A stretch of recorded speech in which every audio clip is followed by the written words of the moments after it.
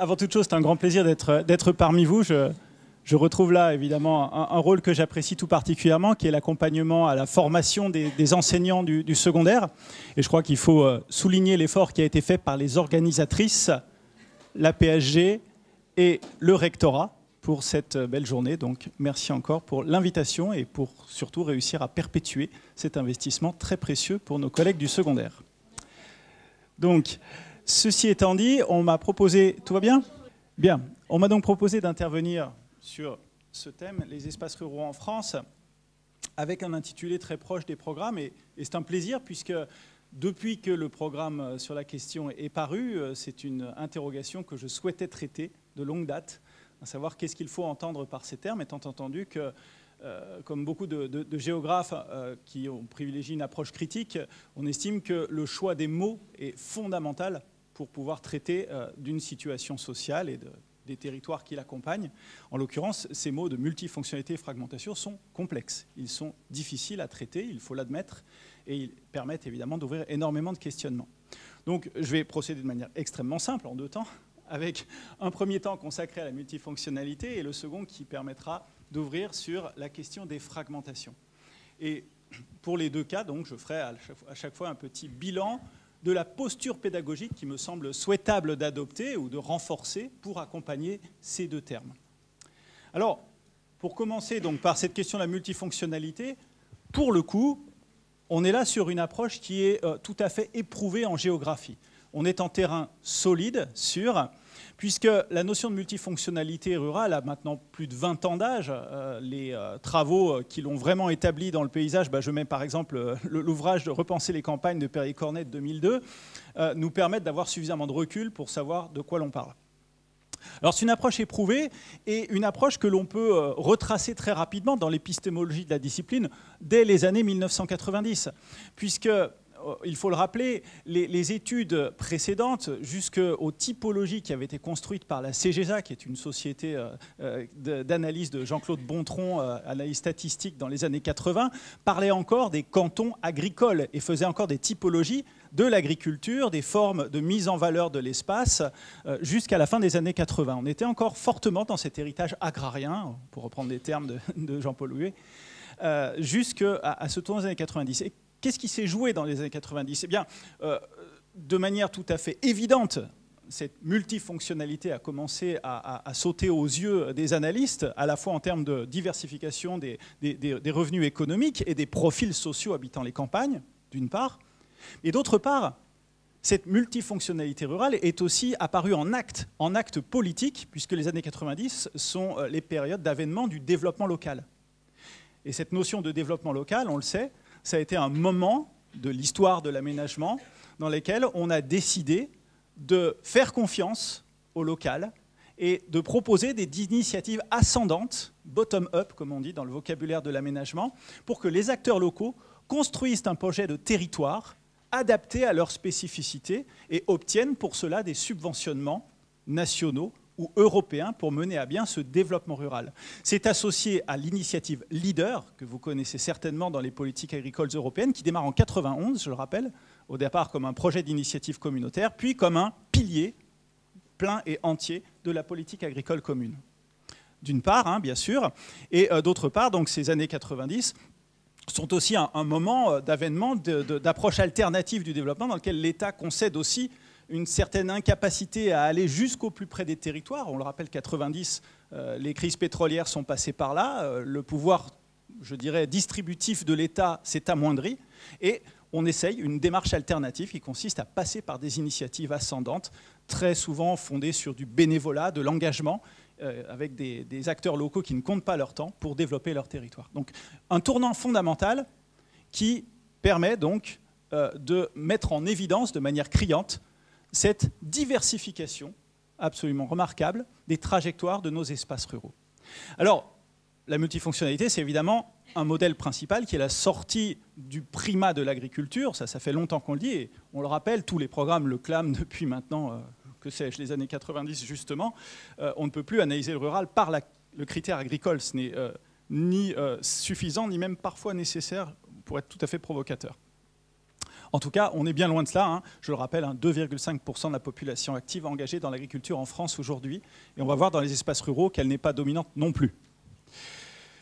Alors quel est le modèle alternatif? Euh, Eh bien le modèle alternatif, c'est un modèle qui tient compte du panorama actuel de la, de la ruralité française. Alors je ne rentre pas dans les débats épistémologiques sur la définition du rural, parce que c'est pénible, ça prend toujours des heures. Donc je, me, je, manque tout simplement dans la dernière définition légale en vigueur, qui est celle de la grille communale de densité de l'INSEE, euh, qui est maintenant établie depuis quelques années, qui repose, vous le savez, sur un critère de densité, comme son nom l'indique, et qui a permis de réévaluer la part des populations françaises vivant dans les espaces ruraux autour de 32-33% de la population nationale, donc un tiers. Un examen assez intéressant puisque le critère est maintenant homogène à l'échelle européenne. Chaque pays avait ses critères et ça donnait lieu à une impossible comparaison et à des biais euh, très subjectifs dans l'appréciation du rural. En France, le biais urbanistique, le tout urbain, a été très souvent prégnant pour euh, essayer de minimiser la part de territoires ruraux. Bon, bah là, on a une définition euh, je dirais, plus factuel, en tout cas plus minimaliste, qui permet d'estimer à peu près au tiers de la population cette part du rural. Et donc dans ces territoires ruraux, et uniquement dans ces territoires ruraux, je rappelle où l'on en est. Et là, pédagogiquement, pour les élèves, c'est absolument passionnant, puisque vous pouvez interroger leur représentation pour savoir, à leur avis, quelle est la part de l'agriculture dans le monde rural, dans les communes rurales. C'est 10%, je vous le rappelle, pour les communes rurales, hein, pas pour le territoire national. Et ensuite, qu'est-ce qui arrive? L'industrie, elle est plus importante dans le rural, bien sûr, que l'agriculture elle-même. Et on se rappelle que les territoires d'industrie sont pour beaucoup des territoires de petite industrie, de sous-traitance, dans un certain nombre de districts répartis sur le territoire français, que ce soit la Vendée, que ce soit le Choletais, que ce soit la zone de Roanne, euh, et, et j'en passe. Vous connaissez sans doute cette géographie des districts industriels dans le monde rural, et en tous les cas, petite industrie évidemment de sous-traitance très importante. La construction est également plus importante, à peu près équivalente à l'agriculture. Hein. Et bien sûr, le tertiaire est aujourd'hui une société de services. À 64% des, actifs, euh, on est un peu en dessous de la moyenne nationale et bien sûr bien en dessous de la situation urbaine, mais néanmoins, c'est évidemment le type d'activité dominante. Donc quand on parle de multifonctionnalité, c'est très facile de commencer par là, déjà pour se rendre compte de ce qui fait aujourd'hui la ruralité et de l'importance de ce basculement qu'a connu le XXe siècle pour parler de ruralité. Et j'ai d'autres petits chiffres qui peuvent être associés. C'est une étude d'Olivier Boubaoga de 2021 que vous pouvez retrouver en ligne, qui rappelle aussi euh, la présence même de services aux entreprises, des services qu'on suppose être des services relativement qualifiés, a priori réservés au milieu urbain, lorsqu'on est dans de l'accompagnement bancaire, dans du conseil à l'entreprise, dans de l'assurance, du refinancement, tout ce que vous pouvez imaginer. Eh bien, non, aussi dans le rural, on a quand même un actif sur dix qui travaille dans le service à l'entreprise.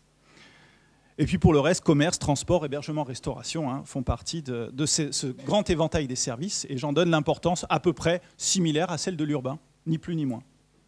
Donc voilà des, des, manières de remettre un petit peu en question des stéréotypes, des préjugés ou des approches peut-être datées du rural et évidemment d'attester de cette grande diversité des situations. Alors, comment mettre ça en modèle? Le modèle de la multifonctionnalité, pour Perrier Cornet, il a été gentil, il nous a fait des catégories très efficaces et euh, pour résumer un petit peu l'éventail des situations que l'on remplit. La première euh, multifonctionnalité, puisqu'on parle de multifonctionnalité, parlons de fonction, c'est celle de la fonction productive. Et donc cette fonction productive, on a déjà tout ce que l'on a vu ensemble, avec rétraction de l'activité agricole et diversification économique dans l'ensemble des secteurs que j'ai pu lister sur le côté. Ça fait déjà donc un certain nombre de situations, si l'on parle d'industrie, si l'on parle de tourisme, si l'on parle de construction, si l'on parle euh, de transport, que sais-je, on peut avoir des euh, surreprésentations statistiques de campagne dans euh, la logistique, dans le petit assemblage mécanique ou encore dans le tourisme, bien entendu. Mais ce n'est pas tout. Et c'est là que le modèle de Perry-Cornet devient plus intéressant, c'est qu'il sort du tout productif et nous propose également deux autres fonctions pour le monde rural à savoir la fonction résidentielle. Pardon, je vois que les choses ont sauté, je ne sais pas ce qui s'est passé d'un coup. Alors attendez, on va remonter bien en avant. Oh là là. Alors attendez, je ne sais pas pourquoi ce clic a manqué sa, cible. Est-ce qu'il y a moyen de revenir tout au début? Euh, Ce serait gentil en tout cas. Ah, on y était presque, mais ce n'était pas tout à fait celle-là. Alors, le temps que ça arrive, les deux autres fonctions sont donc la voilà. La fonction résidentielle, merci. Non, il y a un truc qui saute. Alors là, j'aimerais qu'on m'explique ce qui se passe. Alors permettez, je vais tout simplement quitter. Je ne sais pas ce qui se passe, mais on va y aller comme ça. Voilà, et nous allons voir cette slide, je l'espère, un peu mieux. Non, définitivement pas. Il y a un truc qui se passe là, est-ce qu'on peut m'aider? C'est là que l'instant de vérité. Alors, ouais. Bah voilà, c'est encore plus simple. Alors, on va noter pendant que, pendant que l'écran essaye de retrouver ses bases, la fonction résidentielle et la fonction de nature, si vous le permettez. Alors, pourquoi ajouter ces deux fonctions-là? Moi, de prime abord, lorsque j'aborde ces fonctions, ça ne va pas de soi parce que je n'y vois pas une fonction économique a priori. Ce qu'on entend dans la fonction résidentielle, c'est le fait que, euh, eh bien, au-delà de la production de type agricole principalement et de tout ce qu'on a vu derrière, euh, les, espaces ruraux sont aussi des lieux d'accueil pour de nouvelles populations qui font le choix du rural sans nécessairement y travailler, les fameux travailleurs pendulaires dont on parlait ce matin, les populations retraitées, des résidents secondaires, etc. Donc l'idée de Perrier-Cornet, c'est de réévaluer ce critère de la fonction résidentielle pour dire c'est un moteur pour le territoire rural. On essaie un clic de plus. Ah ben voilà, parfait. Comme quoi, avec de l'aide, c'est nettement mieux. On arrive toujours mieux à plusieurs. Et donc, cette fonction résidentielle, alimentée par les mobilités et la reprise démographique des campagnes, la fameuse renaissance rurale de Kaiser, se retrouve être finalement un levier d'activité, de déploiement économique, notamment le secteur de la construction, 9% dans les campagnes contre 6% en moyenne nationale, c'est bien qu'il se passe quelque chose. Et depuis les années 75, c'est flagrant avec le processus de périurbanisation en particulier. Et à cette fonction, on adjoint une fonction de nature, qui n'est pas anecdotique euh, simplement pour la qualité paysagère des espaces, mais parce qu'elle génère du tourisme, elle génère aussi des dispositifs de protection de la nature avec des travaux scientifiques, avec des acteurs sur le terrain, même s'ils sont peu nombreux en nombre, ils ont évidemment leur importance dans la manière dont on réévalue le potentiel des campagnes à l'aune de leur naturalité. Donc ces trois fonctions, évidemment, jouent ensemble. On se doute bien que la fonction productive, et notamment l'industrie touristique, si on veut l'appeler comme telle, va se nourrir de la fonction de nature et va possiblement donner des envies de campagne à de futurs résidents. C'est bien là la multifonctionnalité que propose Perrier-Cornet il y a déjà 20 ans de cela. Alors, fort de ces travaux, on a tenté de mettre cela en carte, en équation et en chiffres. Alors, là aussi, c'est très amusant de, de cerner ce qui s'est joué sur les 20 dernières années ça a été tout simplement des apports par typologie. Bah, on va prendre tous les critères, hein. euh, les critères d'emploi, les critères de euh, dynamique démographique, les critères de protection de la nature, on va voir ce que ça donne. Bah, ça donne toutes ces cartes. Elles sont nombreuses, elles sont parfois un peu indigestes parce que très colorées, ça fait un peu harlequin. Pour la sémiologie graphique, pardon, ce ne sont pas les meilleures qui soient. Attention, on peut en faire une petite critique. Néanmoins, elles sont assez logiques. Et donc là, nous sommes sur l'actualisation des travaux de la CGSA en 2003 euh, fondé sur euh, une typologie qui euh, est essentiellement économique. On le voit, hein, puisqu'il est question ici d'agriculture, de, rural ouvrier, de tourisme, pourquoi pas de, tourisme et de résidentialité, et puis petite ville rurale, on est sur les pôles de service de, l'espace rural. Donc une première avancée qui a permis de requalifier la ruralité, et vous voyez, c'est toujours ces, ces blancs de la carte là qu'on habille enfin, avec plus d'informations et une information très riche qui explique cette divergence dans les trajectoires que connaît l'espace rural français depuis l'après-guerre. Ce travail a été régulièrement actualisé. Vous avez une deuxième carte produite par Mohamed Hilal et l'équipe euh, du, Césaire euh, dans les années 2011. Euh, j'aurais pu ajouter celle de Pierre Pistre, pardon, pour mon collègue que je salue au passage, qui a aussi fait un travail sur la question, mais on est assez, assez proche dans les, dans les méthodes et dans les résultats. Là, c'est plus fin. Ça y est, on descend à la commune, et évidemment, le patchwork s'améliore encore avec euh, des contrastes qui sont assez faciles à, mettre en lumière au plan pédagogique euh, entre euh, évidemment le nord, le sud. La trop fameuse diagonale des basses densités, qui n'est de fait plus une diagonale puisqu'elle est un petit peu compliquée, vous le voyez. Et, et, encore une fois, il faut requalifier le vocabulaire au fur et à mesure de l'amélioration des outils qui permettent de l'évaluer. J'avance pour la dernière édition, puisque celle-là, elle est toute belle, elle date de 2022, sortie en 2023 sous la plume de Magali Talandier, toujours sur euh, le site euh, de l'Observatoire des territoires, en téléchargement gratuit, facile à lire, donc très bien didactisé. Et vous retrouvez une typologie encore plus fine, dans laquelle euh, vous avez quatre grandes catégories, hein, ruralité résidentielle, ruralité productive, ruralité touristique et petite polarité de services principalement. Ensuite, des sous-catégories qu'on peut exploiter en 8 et vous retrouverez à peu près quelque chose qui s'inspire de la théorie de la multifonctionnalité vue précédemment. Je souligne, parce que c'est à peine lisible, vous êtes peut-être un petit peu loin pour lire jusqu'au bout ce qu'il y a écrit, un parti pris intéressant de Magali Talandier, que je cautionne plus que fortement, qui consiste également, par cette théorie de la multifonctionnalité, à sortir le rural d'une lecture par la dépendance à l'urbain qui est banale, vous la connaissez, depuis les ZPIU des années 60 euh, jusqu'aux aux, fameuses, trop fameuses aires urbaines qui portent si mal leur nom, des campagnes sous influence des villes, et jusque euh, plus récemment aux aires d'attraction des villes. Euh, ce vocabulaire-là, il est mis de côté avec la typologie des densités. On ne se réfère qu'à la densité, on étudie les espaces ruraux pour eux-mêmes. Dans cette typologie, Magali Talandier prend soin de ne pas se référer à l'urbain de manière systématique. Si je lis son propos, il s'agit surtout pas de qualifier communes rurales par rapport à leur moins grande distance à la ville, ni à leur plus ou moins grande dépendance vis-à-vis de ces dernières. La relation entre territoires est l'une des dimensions fondamentales des structures territoriales, mais pas la seule non plus. Donc elle a bien fait, pris soin de supprimer cela pour essayer de faire parler les espaces ruraux pour eux-mêmes. Et elle a bien sûr évité aussi des adjectifs portant un jugement ou sous-entendant un modèle implicite de développement, de croissance, notamment au bénéfice des villes. Souvenez-vous de tous les termes sur le rural profond, le rural isolé qu'on a véhiculé pendant des années dans les statistiques, sans doute par euh, manque de prudence.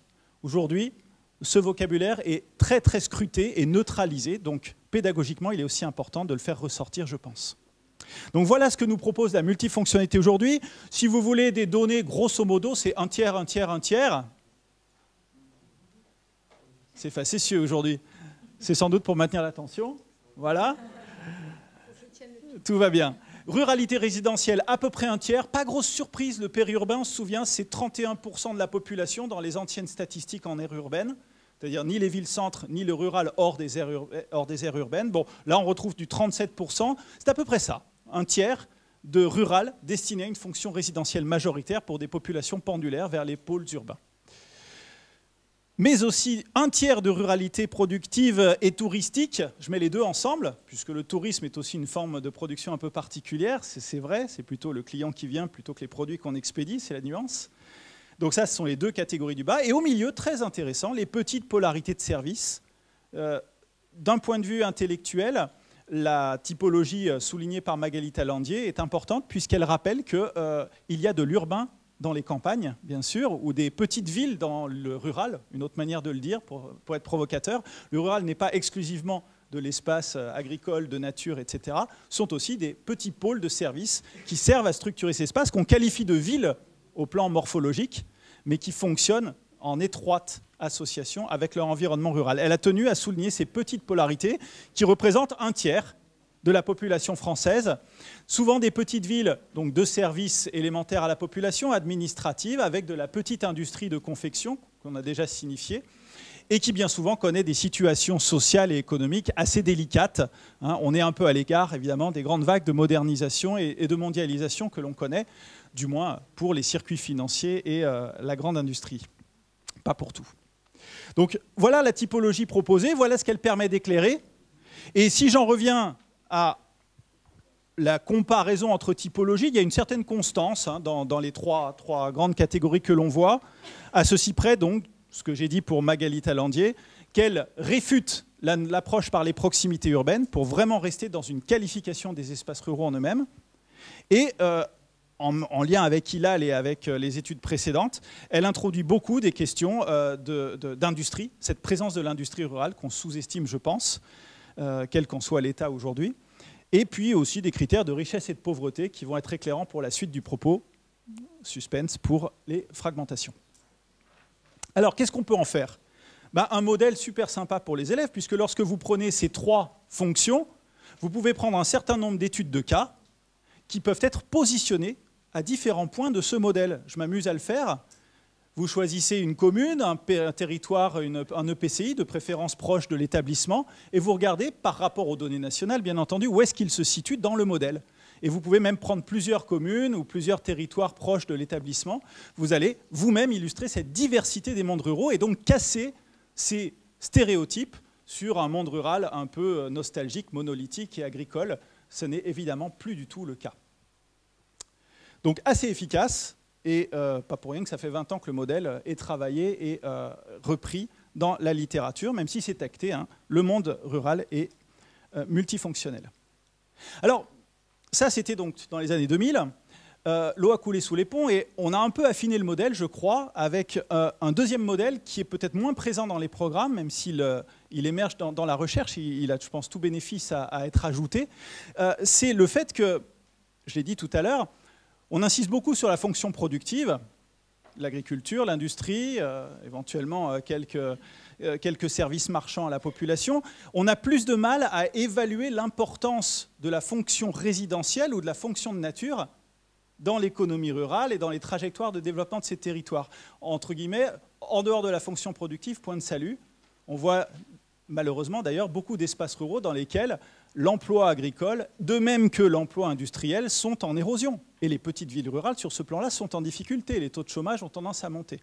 Donc on analyse très facilement les espaces ruraux sous l'angle de cette déprise, de cette fragilité.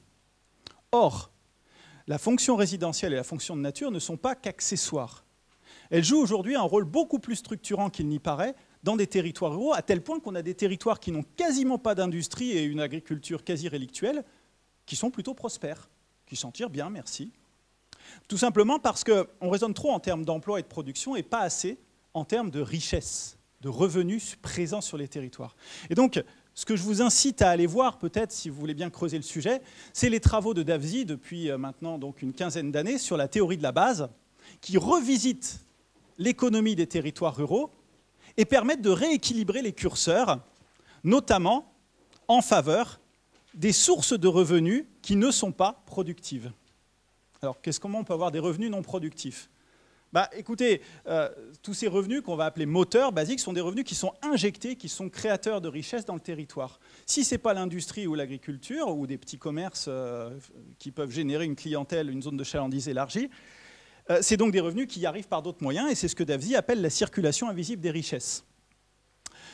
Et c'est fondamental, puisqu'en réalité, il s'agit de tous ces revenus qui sont apportés bah, d'abord par des, mobilités du travail. Alors nos pendulaires en font partie, hein, puisque après tout, la richesse, ils vont la chercher en ville, ils l'apportent à la campagne, d'une certaine manière.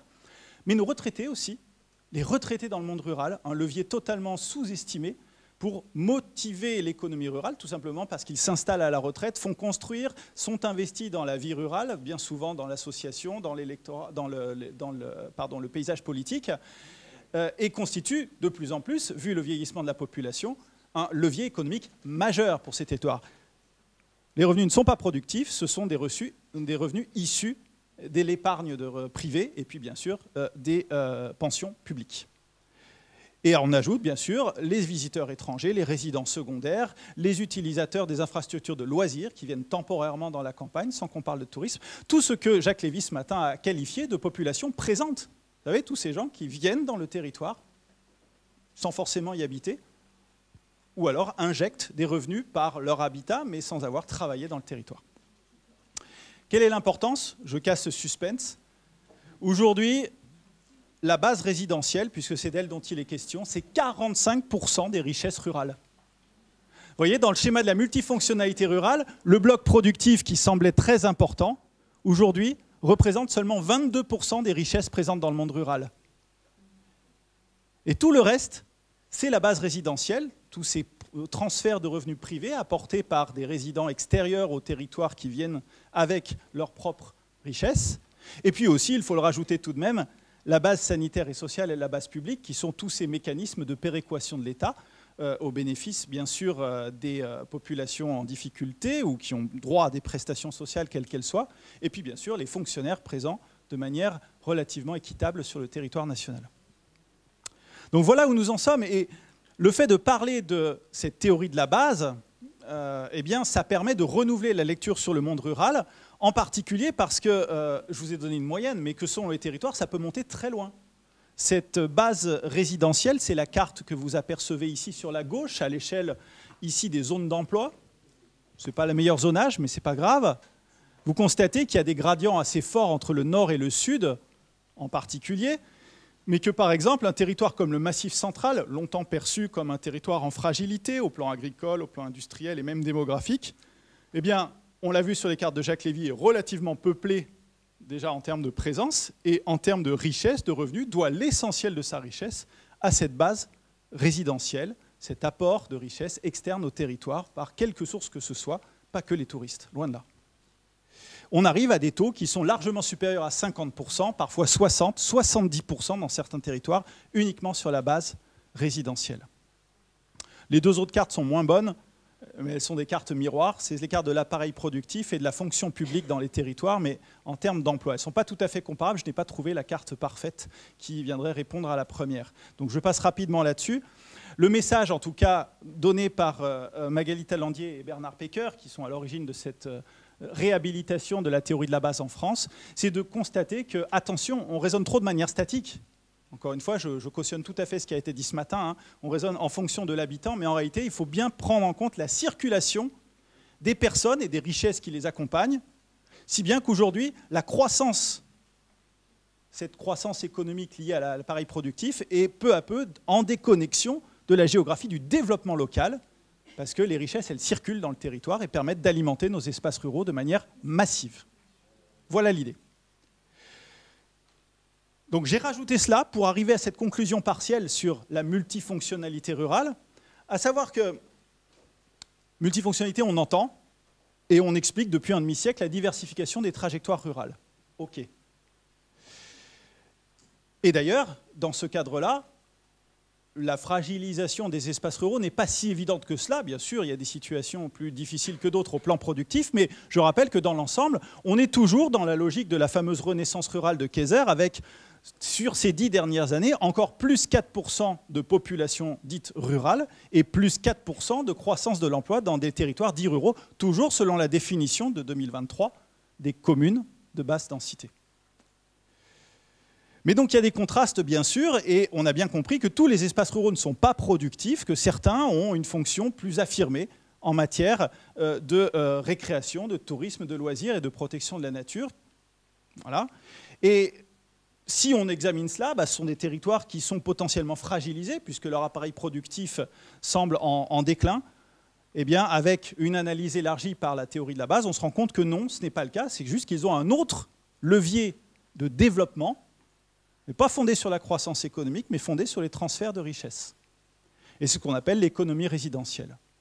Alors pourquoi c'est important? Parce que, pensons pédagogie, ce que nous avons là, c'est une réévaluation de la complémentarité ville-campagne. On a trop souvent tendance à hiérarchiser entre l'urbain et le rural et à constater la dépendance du rural à l'urbain. Eh bien, avec cette théorie-là, plus du tout, puisqu'en somme, dans le modèle relationnel ville-campagne, nous avons des territoires ruraux qui sont productifs avec de l'agriculture, de l'industrie au bénéfice de consommateurs urbains, mais à l'inverse, bien sûr, nous avons une ville qui produit des richesses et qui vont être consommées dans le rural. La complémentarité est relativement équilibrée. Ce ne sont évidemment pas les mêmes types de consommation et de production qu'on trouve dans les deux territoires, mais on est finalement dans une forme de, meilleure association territoriale, il me semble. Je résume, tous les revenus privés exogènes de euh, l'économie résidentielle sur le côté, dans le petit schéma qui est là, euh, et on pourrait sans doute euh, le, qualifier un peu plus. Une thèse en cours, on, travaille dans la DOMP sur la qualification de ces apports des revenus privés et on est, très surpris. Hein. Notamment l'économie des loisirs. Jacques Lévy soulignait le tourisme, pas évident à cerner, mais les loisirs encore moins, parce que c'est à la journée, il n'y a pas de résidence sur place à la nuitée, et pourtant ça génère quand même un sacré paquet de revenus. Pensez au centre équestre, au club de golf, aux restaurants gastronomiques, etc. Tout ça, c'est dans du rural souvent, et ça alimente évidemment l'économie locale. Alors voilà le point auquel j'en suis rendu. Multifonctionnalité, passionnant, on peut faire dire beaucoup de choses et on peut établir cette diversité avec les élèves. Arrive pourtant un autre terme, qui est celui de la fragmentation ou défragmentation, je l'ai mis au pluriel. Alors je ne vous cache pas que ce terme m'a mis beaucoup plus mal à l'aise lorsque je l'ai vu apparaître dans les programmes, parce que mon premier réflexe était de me dire, j'ai dû rater quelque chose dans la littérature, bon sang, je ne l'avais jamais vu en rural. En fait, c'est un peu mensonger, il y a quelques articles qui en parlaient de la fragmentation, mais c'était pour le coup un concept extrêmement novateur. Euh, il a été employé un peu dans le périurbain, il a été employé aussi dans les campagnes d'Europe centrale post-socialiste, où on a évoqué de la fragmentation du fait de la, justement la dislocation du bloc de l'Est. Mais du point de vue épistémologique, ce n'était pas évident. Ici, il y a un endroit où on le trouve très bien, c'est en géomorphologie. En géographie physique, on est bon là, on trouve Hein, je vous rappelle les emplois attestés. Voilà, la fragmentation, c'est le processus de météorisation d'une roche dans euh, un cycle bah, orogénique dans lequel bah, on part de l'ablation, déplacement, accumulation. Donc ça, on comprend. Et puis en écologie, bien sûr, avec la fragmentation écologique des habitats, pour le coup, qu'on trouve notamment dans l'espace rural, là, ça peut faire sens. Mais ces emplois-là sont bien attestés. En géographie sociale, c'est nettement moins vrai, ou du moins c'est plus délicat. Pourquoi c'est délicat? Euh, Parce que bon, le sens principal, je le donne, hein, on le comprend, c'est principe d'hétérogénéité et idée de séparation. On a un matériau hétérogène qui, sous le jeu de forces adverses, va se fragmenter, donc se euh, décomposer en plusieurs entités, à l'image du caillou que j'ai mis euh, en illustration. Copyright et du encore une belle ressource pédagogique au service des enseignants. Mais une fois qu'on dit ça, euh, pour une roche, ça va de soi, et on sent qu'elle subit des forces sans pouvoir tellement agir dessus, que je sache. Lorsqu'on fait un glissement sémantique d'un concept naturaliste ou naturel vers la géographie sociale, attention. Attention, puisque ce glissement peut entraîner des abus de langage. Et là, je vais être très attentif, euh, avec le tournant linguistique, à la signification des mots. Parler de fragmentation d'un territoire, cela ouvre à un risque, si le terme est mal maîtrisé, qui est celui du déterminisme, ou plus exactement du spatialisme. Si je qualifie mon territoire de fragmenté, d'abord c'est sur quelle base? Euh, S'il est fragmenté parce qu'il est cloisonné par des vallées difficilement franchissables, aïe aïe aïe, déterminisme pur et simple. Euh, que je sache, ce n'est pas la vallée qui détermine l'accessibilité d'un lieu, c'est d'abord les aménagements humains et la capacité ou l'investissement qu'on va y faire. Bref, c'est nier le libre arbitre des sociétés humaines, ce qui est très gênant pour des géographes qui sont censés quand même étudier, il me semble, les sociétés humaines dans leur territoire. Et puis, d'autre manière, si le territoire est fragmenté, alors la société va l'être. Bah, ce lien, il n'est pas forcément évident. En tous les cas, il voudrait dire que tout habitant d'un territoire fragmenté subit des forces adverses et qu'il est nécessairement en difficulté. Ça aussi, ça peut être gênant. Donc, je fais attention à l'usage du terme fragmenté, qui me semble effectivement puissant, mais presque trop puissant. Donc, il faut être prudent dans la manière de le manipuler. Ensuite, l'association aux espaces ruraux. En quoi serait-ce une spécificité rurale? Je trouve intéressant que ce soit mentionné avec les espaces ruraux, mais fondamentalement, n'y a-t-il pas des espaces urbains fragmentés? Et est-ce véritablement le propre d'un espace que d'être fragmenté? Parce que, avant toute chose, ce sont nos sociétés qui le sont plus ou moins. Nous avons des groupes sociaux qui peuvent être plus ou moins homogènes en termes de richesse, de culture, de ce que l'on veut, et plus ou moins séparés selon la manière dont la société travaille le lien euh, d'une nation finalement. Et pour terminer tout à fait ma critique sur l'intitulé du programme, simplement sur euh, la manière d'aborder le problème, le ou, hein, euh, multifonctionnalité ou fragmentation. Bah, en fait, euh, ça peut, être ça peut être multifonctionnel et fragmenté, et puis monofonctionnel et pas fragmenté. Enfin, on peut imaginer tout ce qu'on veut. Enfin, on peut faire évidemment un système à, à, quatre possibilités si l'on croit ces mots-là. Donc, en tout cas, il n'y a pas d'opposition a priori entre multifonctionnalité et fragmentation. Donc tout cela étant dit, évidemment, ça devient difficile de traiter le programme. Et pourtant, c'est ça qui est passionnant. Parce qu'à partir du moment où on pose un terme complexe, on s'oblige à réfléchir. Et là, pour le coup, il y a quelque chose à proposer. Et voici euh, les, phénomènes qui sont proposés, d'ailleurs dans Eduscol, si vous le lisez hein, euh, en, détail. Euh, il faut évidemment privilégier une entrée sociale. Ce n'est pas le territoire qui est fragmenté, mais d'abord les populations qui l'habitent, éventuellement. Et les observations ciblées, vous le verrez, enfin vous le savez, c'est la question des inégalités, des représentations de ces conditions d'existence et l'exprésence de conflictualité. On insiste beaucoup là-dessus. Conflit d'aménagement, conflit d'usage. Donc ça, pourquoi pas Là, on est bien dans le champ du social et il n'y a pas d'ambiguïté sur ce dont on parle.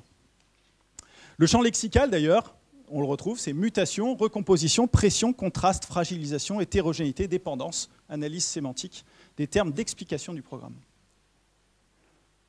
La seule chose que je relève intéressante, qui est un postulat qu'il faut évidemment travailler et, éventuellement euh, enrichir ou affiner, ce serait l'idée que, à l'échelle monde en tout cas, il y a un déclin de la fonction agricole et de là naîtrait une perte potentielle d'un lien socio-économique dans les espaces ruraux. Ce n'est pas certain, mais c'est l'hypothèse qu'on peut travailler. Donc attention évidemment à, tout cela, puisque vous le voyez, c'est un terrain un peu miné au plan des représentations qui y sont associées. Et euh, voilà tous les risques. alors avec une petite euh, faute de mise en page. Mais il y a trois choses qu'il faut absolument éviter dans le travail sur la fragmentation. Euh, c'est d'abord l'idée qu'on avait un monde rural relativement idéal et qui aujourd'hui, par sa multifonctionnalité euh, ou pas, devient fragmenté. Donc c'est la nostalgie, la folklorisation, la naturalisation d'un monde disparu. Ça, c'est banal en matière de rural, mais c'est toujours présent. Fragmentation, bah, c'est péjoratif potentiellement, donc idée de fragilité, de dépendance au reste du territoire. Et on suit souvent une idéologie un peu développementaliste en disant bah, la trajectoire de croissance économique, euh, c'est ce qui sauvera potentiellement notre territoire rural. On vient d'évoquer que ce n'est pas forcément le cas.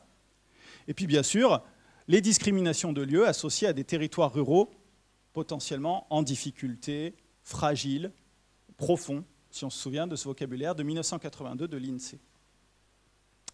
Donc, une fois que j'ai déconstruit, je reconstruis, sinon évidemment on n'avance pas, et pédagogiquement il faut quand même quelque chose de tangible. Proposition de posture pédagogique pour aborder les fragmentations, et c'est ce que je vais faire par la suite. Se positionner résolument dans la géographie sociale. On étudie des acteurs, des conflits d'acteurs et des groupes sociaux. Là, a priori, il y a des chances qu'effectivement on isole, on isole des inégalités et de la conflictualité. Ce n'est pas l'espace qui est fragmenté, mais bien les populations qui l'habitent l'espace pouvant être un révélateur de ces tensions. De manière aspécifique et non biaisée, qu'est-ce que ça veut dire?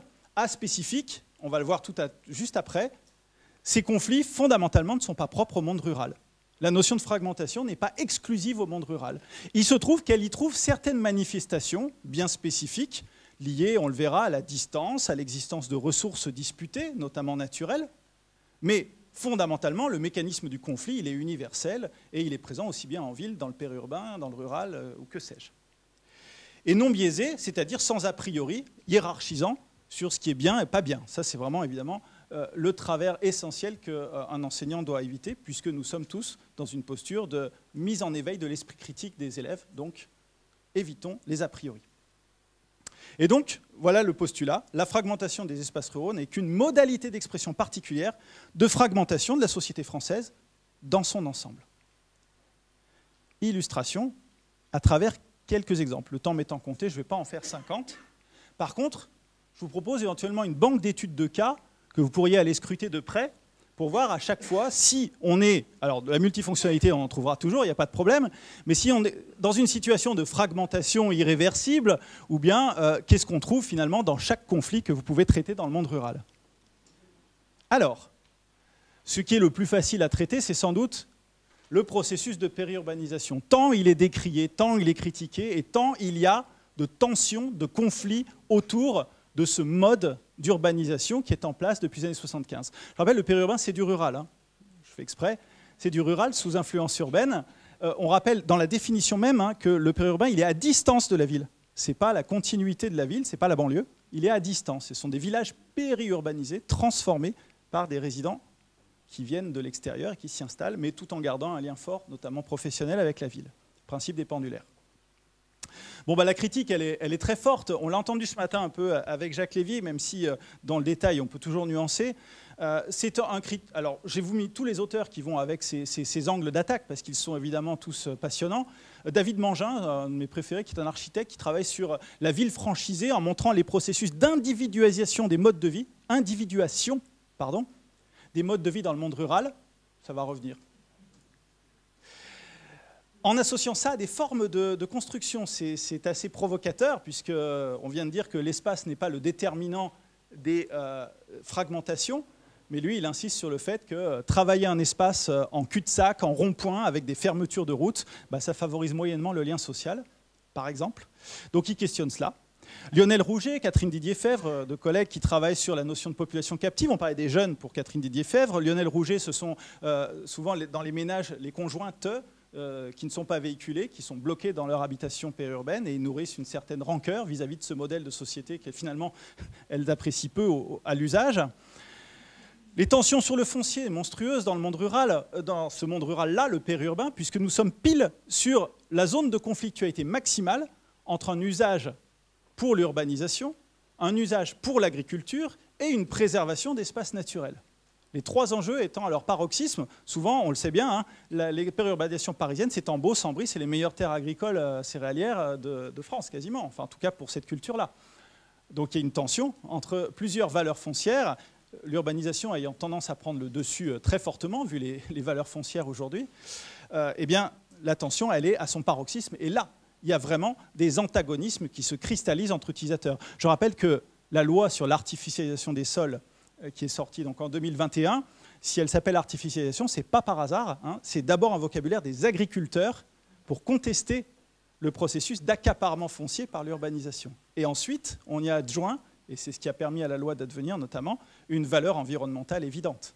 Mais les agriculteurs ont bien tiré leur épingle du jeu. Je rappelle que dans les ENAF, espaces naturels agricoles et forestiers, il y a bien l'agriculture. L'agriculture, c'est naturel, à discuter. Conflits entre groupes sociaux, pensez aux travaux de sociologie rurale, je pensais à ceux de Sansébé dans le Diwa par exemple, que j'adore, puisqu'elle met bien les catégories d'usagers de, l'espace rural et en montrant, c'est pas juste les nouveaux et les anciens, c'est plus compliqué que ça, il y a des micro-stratifications très fortes dans le périurbain qui conduisent à des jeux d'opposition euh, euh, quasi, euh, non pas individuels, mais à, très petite échelle de nombre. Et puis donc cette question du vote protestataire qui interroge dans le monde rural, pas que dans le périurbain, aussi dans le monde agricole plus éloigné des villes, mais pas dans toutes les régions non plus. Hein. Ce que je tenais à souligner avec Jacques Lévy, mais il n'est pas là, c'est évidemment le contraste entre régions, en plus évidemment du contraste entre, les centres de ville et les périphéries, notamment périurbaines. Alors voilà, un gros sujet, je ne vais pas prévu de l'illustrer plus que cela, mais je vous donne les références biblio.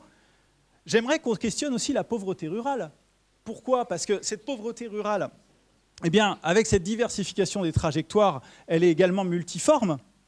Et pour le coup, elle est souvent masquée. Autant la pauvreté urbaine, elle est assez évidente, parce qu'il y a des phénomènes de proximité, de mise en évidence. Euh, les travaux qui ont travaillé sur les populations sans domicile à Paris sont très très très clairs sur le fait qu'il y a des moments où euh, ces populations euh, font volontairement le choix de se rendre très visibles et d'autres, au contraire, elles se protègent. Mais euh, on, les isole plus facilement, on peut les suivre plus facilement dans le monde urbain. Dans le monde rural, c'est plus compliqué et elle est multiforme, euh, cette pauvreté. Alors, il y a une pauvreté qui est parfois importée des villes. Des populations font le choix d'aller dans le rural parce que les coûts résidentiels y sont moins élevés, mais se retrouvent eux aussi enfermés dans d'autres coûts, les coûts de la mobilité, les coûts des services qui rendent leur situation intenable, de l'habitat précaire dans le monde rural. D'excellentes thèses sur le Morvan par Johan Mio, par exemple, sur ce sujet, montrent que la précarité rurale se développe aussi sous cette forme-là. Et nous avons euh, bien entendu aussi les populations qui sont euh, des retraités agricoles très désargentés, qu'on a encore de manière marginale dans ces mondes ruraux. Donc là aussi, il y a des clivages sociaux très nets, clivages qui peuvent conduire parfois à des protestations fortes. Et alors là, une autre pauvreté qu'on n'avait pas vu venir, c'est bien celle identifiée par le mouvement des Gilets jaunes. Ce n'est pas une pauvreté absolue, hein. euh, des ménages qui gagnent 2000, 3000 euros par mois, c'est possible. Sauf que dans certains choix de vie, on en parlait ce matin, lorsque vous cumulez l'ensemble des coûts contraints, c'est-à-dire les dépenses préengagées pour le logement, les factures, le téléphone, etc., etc., plus les coûts de transport vers son travail, alors là, 3000 euros, vous êtes pauvre. Ça a été montré par Eric Charme. Il a vraiment démontré le reste à vivre et des mécanismes d'endettement, vraiment par des gens qui avaient mal calculé leurs coûts et qui en plus se sont fait prendre par la hausse du coût de la vie, la hausse du carburant, etc. Et un sentiment plus général de notre monde rural, en lien avec les politiques notamment d'optimisation des services publics, je le dis sous cette forme-là, des fermetures de services, des concentrations, une mise à distance de certains services par la numérisation, mais avec des fractures numériques, avec des mises à distance, qui créent des sentiments, justifiés ou non, ils sont là, des sentiments de déclassement confèrent les travaux de Benoît Coquart au plan sociologique sur ceux qui restent, ceux qui sont un peu à l'écart de ce développement rural dont je parlais tout à l'heure.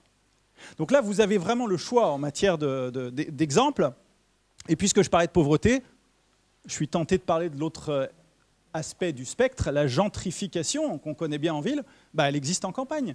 Pareil, c'est très intéressant de faire le parallèle, puisque cette gentrification rurale se traduit par des mécanismes voisins pas les mêmes, mais voisins de ceux de la ville. Bien sûr, une hausse des prix, une évolution sociologique des commerces, des modes de vie, aussi de l'offre artisanale, avec des phénomènes progressivement de, euh, non pas d'éviction comme dans l'urbain, parce que c'est un terme fort, il faudrait qu'il y ait des locataires pour pouvoir être évincés, là ce n'est pas le cas dans le monde rural, mais des, des phénomènes d'évitement, où à force de fermeture de l'espace à construire, de réglementation drastique sur la rénovation et les coûts de rénovation, sur un certain nombre de choix de ne pas accueillir du logement social, eh bien en fait, vous créez une forme d'entre-soi en, accentuant des ségrégations socio-spatiales dans le monde rural. Et puis bien sûr, alors là le plus classique, sans doute ce qui est le plus euh, aisé à utiliser dans un cadre pédagogique, les grands projets d'aménagement contestés, quels qu'ils soient, aéroports, éoliennes, center park, méga bassines.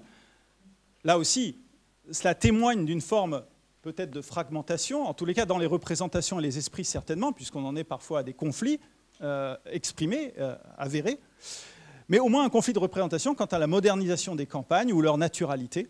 Vous trouvez un certain nombre d'ouvrages sur, la question. Alors pourquoi j'ai fait cet inventaire à la Prévert? J'aurais pu continuer, il y en a certainement d'autres, des situations de conflit dans le monde rural.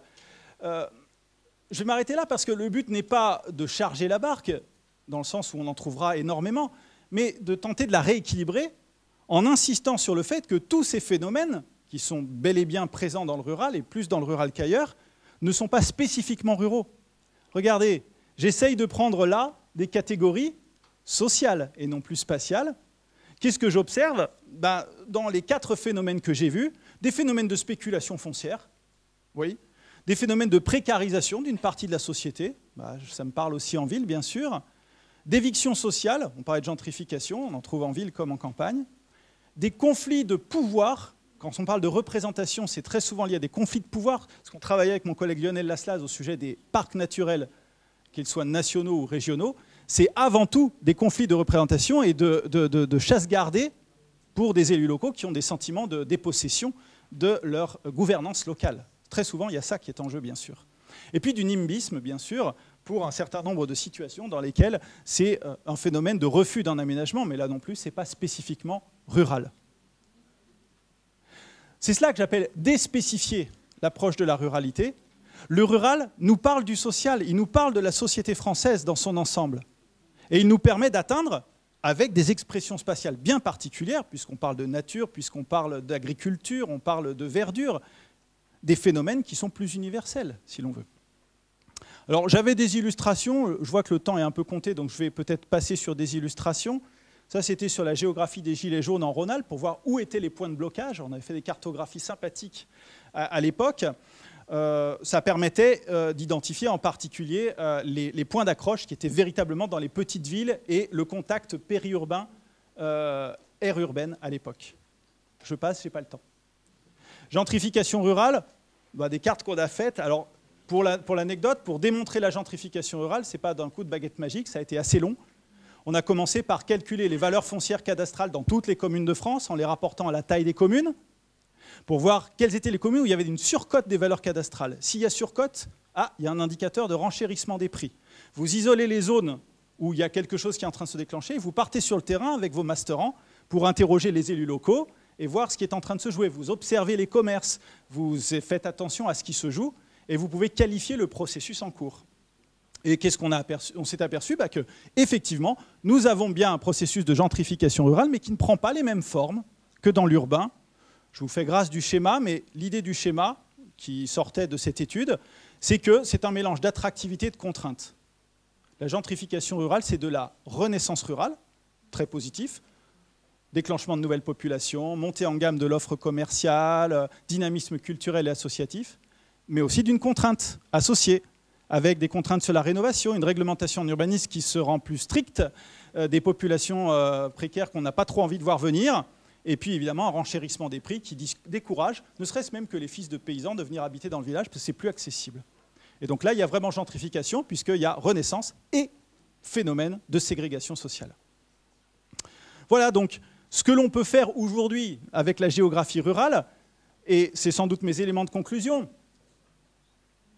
On est loin, je pense aujourd'hui, d'une approche lénifiante des campagnes, vue essentiellement sous le spectre de l'agriculture, sous le, pardon, je vais y arriver, j'ai dit spectre, c'est intéressant, euh, de l'agriculture. Non, c'est beaucoup plus intéressant que cela. Euh, nous sommes bel et bien effectivement dans des trajectoires diversifiées et présence de fragmentation sociale, dont l'expression est très spécifique puisqu'elle s'appuie sur l'appréciation d'une distance, l'appréciation d'un imaginaire agricole ou d'une naturalité, parfois fantasmée, mais peu importe, c'est un fait.